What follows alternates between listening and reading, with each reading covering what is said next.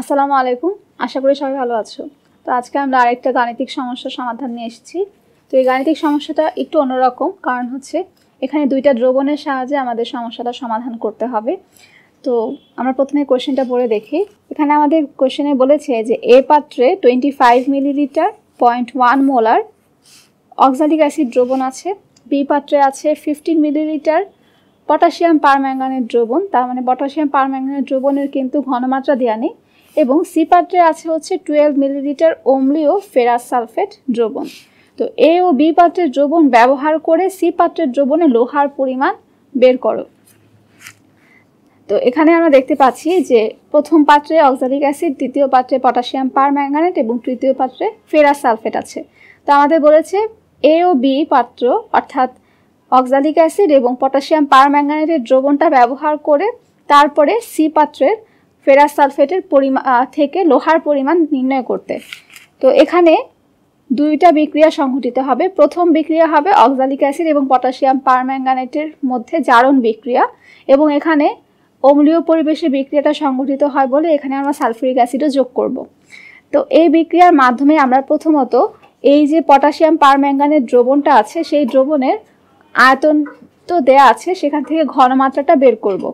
তারপর সেই ঘনমাত্রা এবং সেই আয়তন ব্যবহার করে আমরা তৃতীয় পাত্রের ফেরাস সালফেটের যে আয়রন বা ফেরাসের পরিমাণটা সেটা নির্ণয় করব। তাহলে আমরা প্রথম বিক্রিয়াটা লিখছি। অক্সালিক অ্যাসিড, এর সাথে পটাশিয়াম, পারম্যাঙ্গানেট এবং সালফুরিক অ্যাসিডের বিক্রিয়া। এই বিক্রিয়ায় প্রথমত অক্সালিক অ্যাসিডের যে অক্সালেট আয়নটা আছে, সেটা জারিত হয়ে রূপান্তরিত হয় কার্বন ডাইঅক্সাইড গ্যাসে। এরপরে এই পটাশিয়াম, পারম্যাঙ্গানেট যৌগের পটাশিয়াম এবং ম্যাঙ্গানিজ ধাতু সালফুরিক অ্যাসিডের সালফেট আয়নের সাথে যুক্ত হয়ে পরিণত হয়। পটাশিয়াম সালফেট এবং ম্যাঙ্গানিজ সালফেটে। তো অবশিষ্ট যে প্রোটনগুলো থাকে, সালফুরিক অ্যাসিডে এবং অক্সালিক অ্যাসিডে, এই প্রোটনগুলো পটাশিয়াম পারম্যাঙ্গানেটের অক্সিজেন এর সাথে যুক্ত হয়ে তৈরি করে পানি।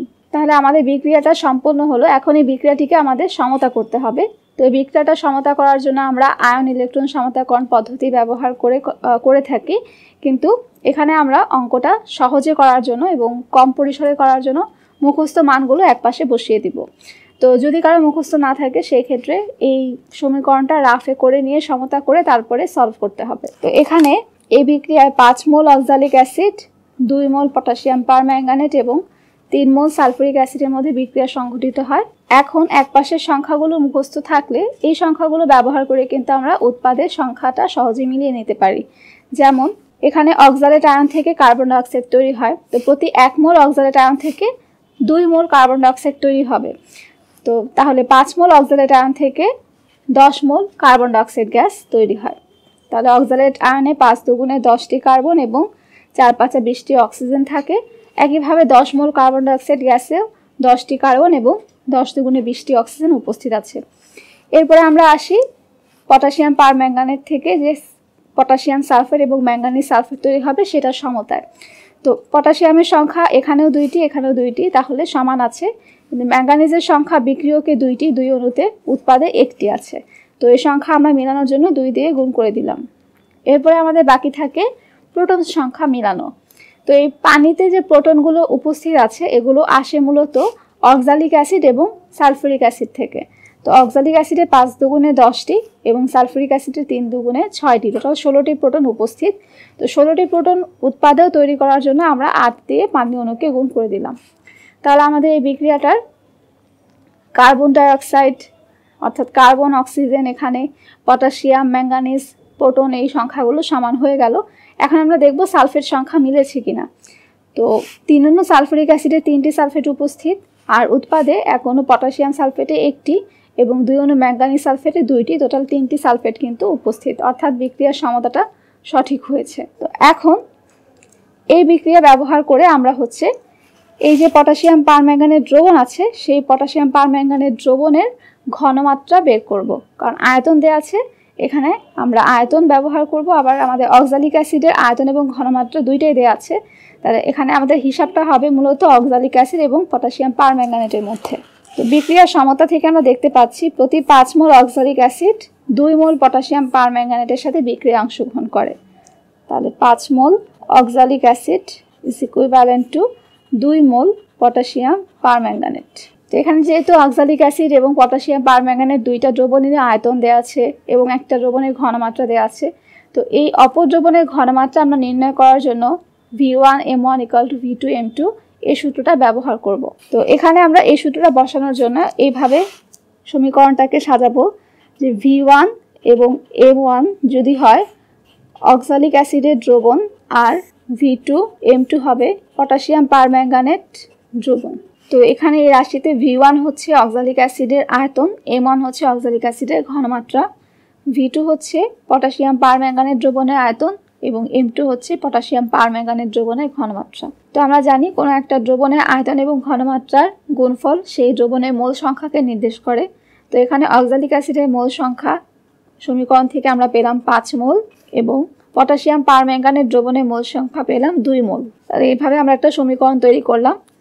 এখন এই সমীকরণে যে রাশিগুলো আছে V one M one V two M two এগুলোর মধ্যে যেগুলোর মান দেওয়া আছে সেগুলো আমরা সাইড নোটে লিখে নিব।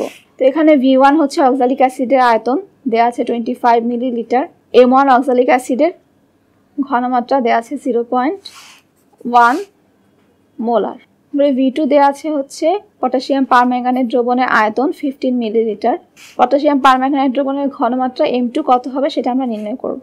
তাহলে M two is equal to two into V one M one divided by five into V two তো এখন এই সমীকরণে আমরা রাশিগুলোর মান বসাবো।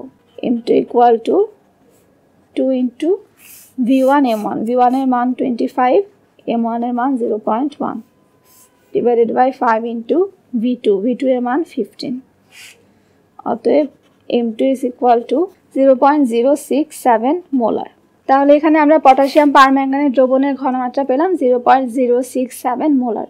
তো আমাদের কোশ্চিনের দ্বিতীয় অংশে বলেছে যে এ ও বি পাত্রের দ্রবণ ব্যবহার করে সি পাত্রের দ্রবণে লোহার পরিমাণ বের করতে। তাহলে এখানে লোহার পরিমাণ বের করার জন্য আমরা এই যে পটাশিয়াম পারম্যাঙ্গানের দ্রবণ, সেই দ্রবণের আয়তন এবং ঘনমাত্রা ব্যবহার করে তারপরে বের করব। তো এখন দ্বিতীয় ধাপে যে বিক্রিয়াটা সম্পন্ন হবে সেটা আমরা লিখব। তো এখানে বিক্রিয়া হবে ফেরাস সালফেট এবং পটাশিয়াম পারম্যাঙ্গানের দ্রবণের মধ্যে। এবং যেহেতু ফেরাস সালফেটটা অম্লীয় অবস্থায় আছে, এখানে আরেকটা অম্ল যোগ হবে, সেটা হবে সালফিউরিক অ্যাসিড। তাহলে আমরা বিক্রিয়াটা লিখছি। তো এখানে ফেরাস সালফেট পটাশিয়াম, পারম্যাঙ্গানেট এবং সালফিউরিক অ্যাসিডের মধ্যে বিক্রিয়ায় প্রথমত ফেরাস সালফেটটা জারিত হয়ে তৈরি করে ফেরিক সালফেট। ওই পটাশিয়াম, পারম্যাঙ্গানেটের পটাশিয়াম এবং ম্যাঙ্গানিজ ধাতু প্রত্যেকে সালফেট আয়নের সাথে যুক্ত হয়ে তৈরি করে পটাশিয়াম সালফেট এবং ম্যাঙ্গানিজ সালফেট। এবং এই প্রোটনগুলো পারম্যাঙ্গানেটের অক্সিজেনের সাথে যুক্ত হয়ে তৈরি করে পানি। তো এখন এই বিক্রিয়াটিকে আমাদের সঠিকভাবে সমতা করতে হবে। সমতা করার জন্য আমরা যে সমতাকৃত সমীকরণে যে সরাসরি নাম্বারগুলো, সেগুলো মুখস্থ বসিয়ে দেব। এছাড়া এই পদ্ধতিতে সাধারণত এই সমীকরণটা আয়ন ইলেকট্রন পদ্ধতিতে সমতা করা হয়ে থাকে। তো যদি কারও এই সমতাকৃত সংখ্যাগুলো মনে না থাকে, সেক্ষেত্রে রাফ করে নিয়ে বিক্রিয়াটা সলভ করে তারপরে বাকি অঙ্কটুকু সলভ করতে হবে। তো এখানে দশ মোল ফেরাস সালফেট, দুই মোল পটাশিয়াম পারম্যাঙ্গানেট এবং আট মোল সালফুরিক অ্যাসিড বিক্রিয়া অংশগ্রহণ করে। তো এই বিক্রিয়ার একপাশে সংখ্যাগুলো মুখস্থ করে বসাতে পারলে এই সংখ্যাগুলো দিয়ে কিন্তু আমরা উৎপাদের সংখ্যাগুলো মিলাতে পারি। যেমন এখানে দশটি আয়রন আছে, তো উৎপাদের দশটি আয়রন মেলানোর জন্য আমরা এই অণুকে পাঁচ দিয়ে গুণ করলাম। তাহলে পাঁচ মোল ফেরিক সালফেটে পাঁচ দুগুণে দশটি আয়রন হয়ে গেল।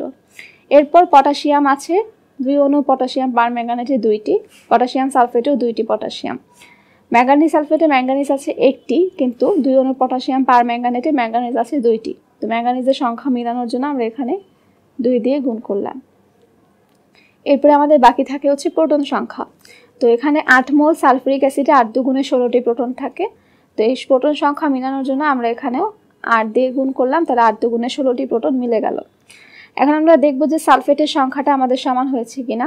এখানে দশ মোল ফেরাস সালফেটে দশটি এবং আট মোল সালফিউরিক অ্যাসিডে আটটি। টোটাল আঠারোটি ফেরাস সালফেট আয়ন উপস্থিত।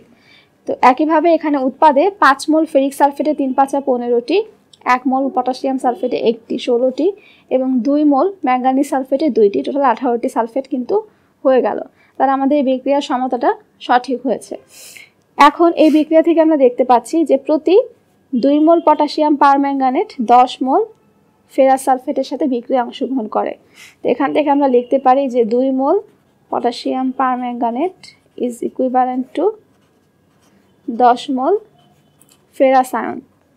তো এই বিক্রিয়াতে থেকে মূলত আমরা এই ফেরাস আয়নের পরিমাণটা বের করব, তাহলেই আমরা লোহার ভর কত হবে সেটা নির্ণয় করতে পারব।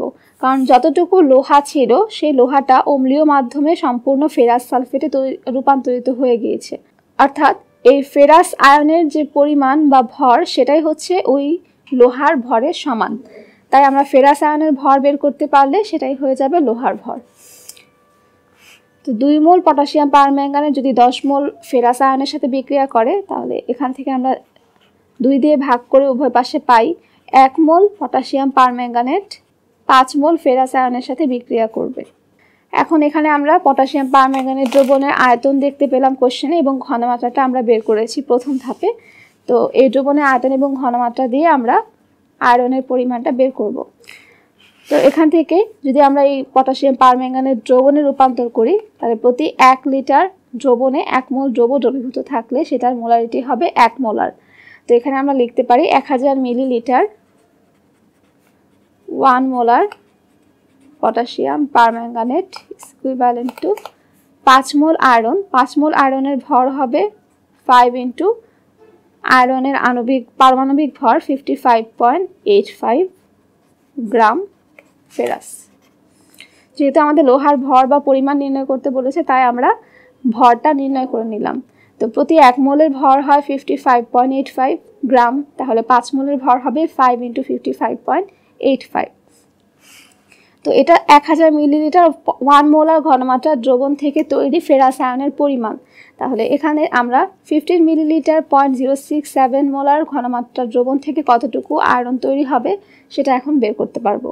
Fifteen millilitre point zero six seven molar potassium permanganate equal to এখানে ঐকিক নিয়মের যেভাবে আমরা সলভ করে থাকি, সেই নিয়মে আমরা ক্যালকুলেশন করব।